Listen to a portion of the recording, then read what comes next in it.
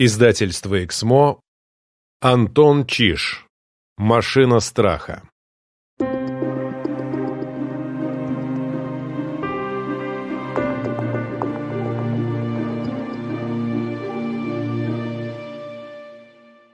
Знаменитый электролог Наркевич Йотко наверняка пополнил бы свою коллекцию замечательными электрофотографиями, окажись он в этот час в гостиной Иртемьева. Электричество было разлито в воздухе. Оно скапливалось невидимыми тучами, в которых мелькали искры и первые зорницы близкой грозы. Молнии только ждали, в кого бы ударить. Громотвод находился тут же. Ванзаров старательно не замечал, какую смесь страха и неприязни он возбуждает.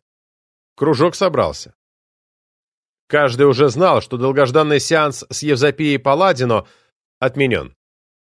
Прибытков как мог старался подсластить пилюлю, давая разъяснение, что мадам Медиум не рискнула прийти в редакцию журнала после фиаско, постигшего ее на последнем сеансе. И вообще их встреча всего лишь перенесена на лучшие времена, когда мадам снова обретет должную силу. Как ни старался Виктор Иванович, первым делом его спрашивали, полиция отменила? Тут уж приходилось использовать весь немалый запас красноречия. Кружковцы соглашались с большой неохотой. К примеру, Клокотский категорически отказался. Прибыткову стоило больших усилий уговорить столь необходимого сенситива. Мадемуазель Валан сослалась на слабость и головную боль. Но без магнетизера и думать нечего о сеансе. Мурфини желал приходить в дом Иртемьева. Даже Погорельский, от которого нельзя было ожидать капризов, выразил недоумение по поводу столь частых сеансов, что, как известно, ослабляет проявление спиритизма. Только Хованский согласился с легкостью, зато опаздывал. Стол с алфавитным кругом и свечой был на месте. Одиннадцать стульев расставлено. Не было ни чая с самоваром, ни бутербродов, ни печенья. Дом не топился, было холодно и зябко по-осеннему. Валанд куталась в шаль. Вера и Афина отчужденно сидели на диване. Прочие гости разбрелись по углам. Мурфи держался поближе к предмету, накрытому черным платком. Не было центра, вокруг которого все привыкли собираться. Никто не спрашивал, где же наш дорогой Иона Денисович, почему его нет, как же мы проведем сеанс без медиума. Пояснения уже были даны, но обошлись Прибыткову недешево. Так много врать ему не приходилось никогда. Даже на аудиенциях в Министерстве внутренних дел, когда он убеждал в необходимости провести в России спиритический конгресс. Собственно, ради этой великой цели он умолял кружковцев согласиться и теперь старательно избегал общества. Никто не разговаривал. В гостиной царила недобрая тишина. Электрические токи бурлили и поднимались волнами. Время сеанса неумолимо приближалось. Погорельский хотел было задернуть портьеру, но Ванзаров попросил оставить как есть. Доктор выразил удивление, но возражать не стал. Звякнул дверной замок. Вера ушла открывать и вернулась с Хованским. Миша растерял привычную веселость, затравленно глянул на Ванзарова, кивнул и отошел подальше. На часах было без трех минут девять. Неслышной тенью вошел Прибытков, спросил, не пора ли начинать и где обещанный медиум. Ванзаров уверил, что тот появится с минуты на минуту. Можно занимать места. «Господа, прошу садиться», — пригласил Виктор Иванович. Голос его не внушал ни бодрости, ни оптимизма. Никто не шевельнулся. Вера встала, помогла Афине и отвела к столу. Барышни заняли привычные места, оставив между собой пустой стул для Клокотского. «Мадемуазель Валант, прошу вас». Прибытков словно умолял не мучить ни себя, ни его. Магнетизер бросила на Ванзарова недобрый взгляд, не спеша подошла и села напротив Веры и Афины. А Хованский без лишних приглашений устроился слева от нее. — Месель Викентьевич, господа, ну, прошу вас, окажите милость. Прибытков даже ладони сложил молитвенно. На такой призыв нельзя было не откликнуться. Доктор с нотариусом и Мурфи уселись где положено. Место медиума и два стула пустовали. Раздался звонок. Ванзаров отказался принять услуги Веры и сам направился в прихожую. «Что за цирк здесь устроен?» Тихим и злым шепотом проговорил Клокотский. «Что этот полицейский себе позволяет?» Прибытков сложил руки на груди. Станислав Станиславович, друзья мои, умоляю, ведите себя разумно. Это крайне необходимо для дальнейшей судьбы нашего журнала и кружка. Может, сей субъект сам в медиум имеет? Валант презрительно засмеялась, а Виктор Иванович сжал виски. «Всех призываю к сдержанности». Клокотский пробурчал что-то, но попытки к бунту не повторял. «Добро мне кончится, помяните мое слово», — сказал Морфи, оглядываясь на соседей. Афина не ответила, опустив глаза, а Хованский будто не расслышал. «Чрезвычайно неловкая и неуютная ситуация. Как в такой атмосфере можно проводить сеанс?» — высказался Погорельский. Чем выразил общее мнение. Разлитое электричество прокатилось одобрительной волной. «Мессиль Викентьевич, извольте держаться в рамках», прошипел Прибытков, который испытывал неописуемые муки. От всего происходящего, а больше от того, что не мог ни сказать правду, ни прервать пытку. Не пристало капитану бежать с тонущего корабля, даже капитану в отставке. «Тише, господа, возвращается». Ванзаров вошел первым и развернулся в манере отменного дворецкого. «Господа, позвольте представить медиума, месье Германа Калиоста и его спутницу, мадемуазель Люцию. Прошелестел звук, как от смятой газеты. Все глаза были обращены к вошедшим. Калиоста выглядел чрезвычайно эффектно. Блестящий концертный фраг с искрой, сорочка черного шелка с широким воротом, затянутым красным бантом, в котором сверкала бриллиантовая брошь. Кудрявая шевелюра раздувалась черным облаком. Зато Люция была в самом скромном сером платье, без кружев и украшений, волосы просто зачесаны и стянуты на затылке. Калиоста отдал общий глубокий поклон. И как будто впитал большую часть электричества. Атмосфера заметно разрядилась.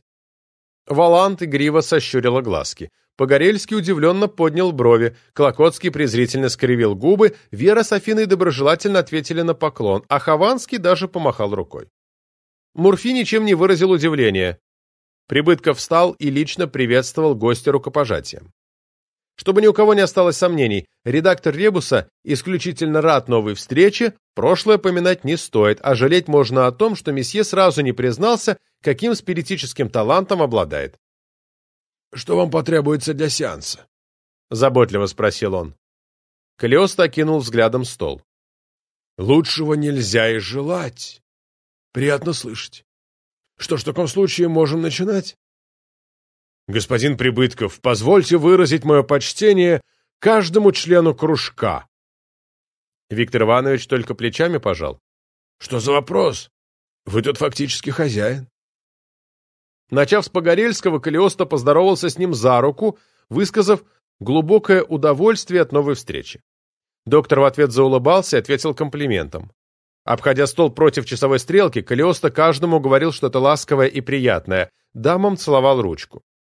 От таких манер Клокотский смягчился, а Морфи был так добр, будто вчера не жаловался на мага в полицию. И вовсе не помнил дурного. «Господа, для меня большая честь провести сеанс с вашим кружком. Надеюсь на помощь сильного сенситива, господина Клокотского и удивительного магнетизера мадемуазель Воланд. Незаметно Калиост овладел доверием собравшихся.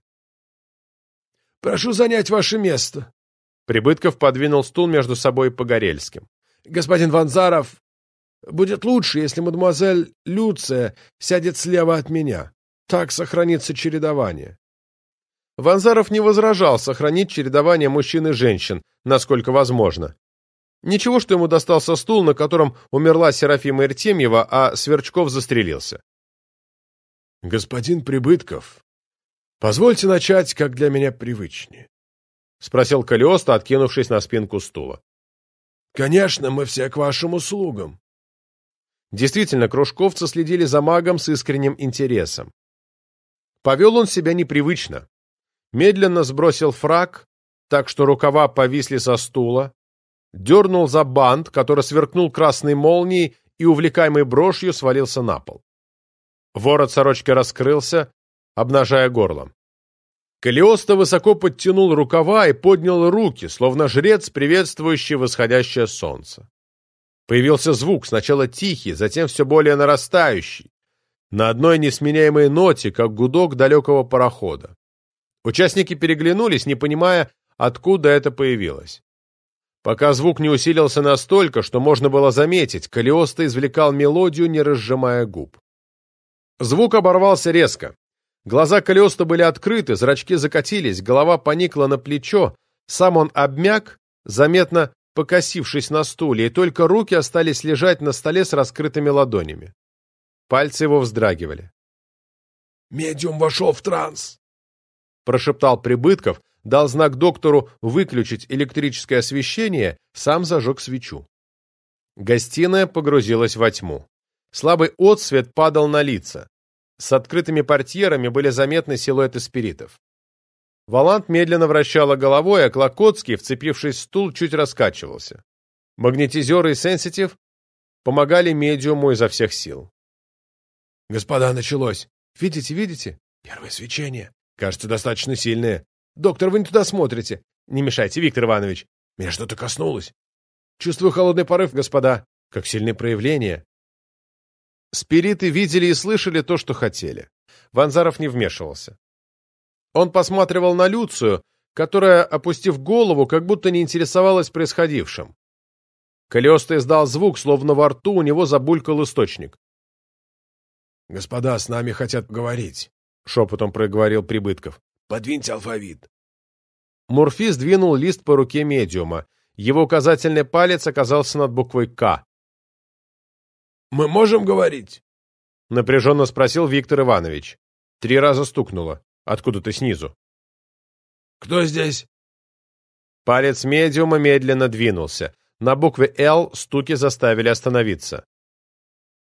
«Лукерья», — произнес Прибытков, когда все буквы были названы. «Это кто такая?» «Боюсь, это наша кухарка», — проговорила Афина, оглядываясь на Веру. Та еле заметно кивнула. «Спросите ее». «Вы кухарка господина Иртемьева?» Ответом было три стука «да». Прибыткову не слишком хотелось тратить сеанс на общение с деревенской бабой, но выбирать он не мог. Значит, такая особенность медиума — вызывать не слишком интересных собеседников. «Когда вы умерли?» — спросил он, глядя в темноту. «Недавно», — последовал ответ. «Лукерья, от чего вы погибли?» — спросил Ванзаров. Виктор Иванович поморщился примитивной трате спиритической силы, но возражать не стал. «Меня сгубили насильно». «Надо понимать, что ее убили?» — тихо спросил Погорельский. Афина ничего не ответила, зажмурилась, как будто боялась увидеть призрак. «Сейчас выясним», — ответил Ванзаров доктору и обратился в черноту. «Вас убили?» Раздалось три стука. Несмотря на попытки горничной обратить на себя его внимание, Аполлон Григорьевич смотрел в окуляр телескопа. Нинель не замечал вовсе. Он собирался точно выполнить поручение, наблюдать за реакциями спиритов. При электрическом свете следить было одно удовольствие, как будто сам оказался в гостиной. Только в плаще невидимки. Лебедев видел, как Вера с Афиной выдвинули стол на середину гостиной, как расставляли стулья, как собирались гости. Он наблюдал, как одиноко бродил Ванзаров и искренне переживал за друга. Он видел, что его знакомому доктору не позволили задернуть портьеры. Перед его глазами спириты расселись, появился Калиоста с девочкой-подростком. Филерить вот так, невидимым, из безопасного укрытия, было чрезвычайно любопытно. Совершенно новое впечатление. Лебедеву все больше нравилась затея. Не слыша голосов, он понимал происходящее, вот, например, господин Мак разводит лишние церемонии, здоровается с каждым из присутствующих. Оставалось дождаться, когда же начнется главное представление. Свет погас. Ванзаров просил, чтобы с этого момента велся точный график наблюдений. Чтобы потом сравнить с тем, что происходило за столом. Аполлон Григорьевич заготовил перед собой часы и лист с карандашом. Сеанс начался. Одинокая свечка бросала на лица уродливые тени, как будто не люди, а пришельцы из иного мира. Но криминалист не любоваться собирался, ему предстояло замечать поведение спиритов. Пока что жгучая брюнетка, сидевшая к телескопу спиной, крутила головой, будто хотела забросить ее подальше. Господин нотариус покачивался, словно фарфоровый болванчик. — Аполлон Григорьевич, Голосок был столь нежен, что нельзя было не отвлечься. Нинель держала серебряный поднос с двумя бокалами шампанского. Лебедев невольно отметил, что старуха храпит в своем кресле. Так увлекся, что не заметил, когда старую даму склонила в сон. Дама более молодая и симпатичная улыбалась ему. — Вы до сих пор ничего не ели? — проворковала она. — В нашем доме так не принято. Елизавета Марковна, как узнает, бронить начнет. Пожалейте бедную девушку. Я шампанское достала отличное, настоящее французское, не из дрянной лавки. Давайте выпьем за приятное знакомство. Я и закуски принесу. Очень прошу вас, сделайте милость. Пузырьки соблазнительно взлетали. Нинель была так мила. Лебедев ощутил сухость во рту и потребность чуток отвлечься. Сеанс долгий, только начался, ничего пока не случится. Он только потянулся к бокалу, как Нинель юркнула к нему на колени и присела. Аполлон Григорьевич ощутил на себе упругую мягкость. «Шалите, мадемуазель», — сказал он, невольно обнимая ее за талию. «Ага», — ответила она и прижалась к его крепкому телу. «Ну тогда за знакомство». Бокалы чукнулись, издав хрустальный звон. На вкус шампанское было отличным, просто изумительным. Можно и по второму бокалу, невелика беда. Для организма Лебедева этот напиток все равно, что компот. Вот только Нинель не спешила на кухню, а обняла своей ручкой шею криминалиста. — Вы фантастический, невероятный, изумительный мужчина. Аполлон Григорьевич от чего то закрыл глаза и ощутил на губах вкус куда сильнее шампанского.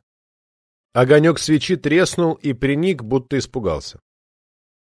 Прибытков показал жестом, что чиновник сыска может продолжать использовать силу медиума, как ему вздумается раз ничего не понимает в спиритизме. «Кто вас убил?» Наступила тишина. Калиоста водил пальцем по алфавиту, но диалога не происходило. Когда второй раз указал на букву «О», раздался подтверждающий стук. «Он рядом», — сложил ответ Прибытков. «Что ж, господа, убийца кухарки где-то рядом?» «Ну и ну, какой сеанс!» «Кто он? Укажите его», — попросил Ванзаров. — Родион Георгиевич, так нельзя, так не принято. Ванзаров молча принес извинения. Его вина не знает правил, ведет себя как на допросе. Лукерью это не смутило, ответ был получен.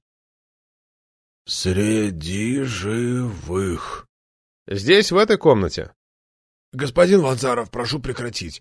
Такие вопросы задавать недопустимы. Вы наносите вред медиуму, с этим нельзя шутить. Простите, Виктор Иванович, привычка узнавать все до конца.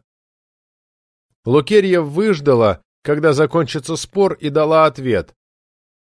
«Возможно». Предупреждая дальнейшее, Прибытков замотал головой столь решительно, что важный вопрос остался незаданным. «Тогда сами спросите о снимке, чтобы я не нанес вред медиуму», — предложил Ванзаров. На это Виктор Иванович был согласен. — Лукерья, ответьте.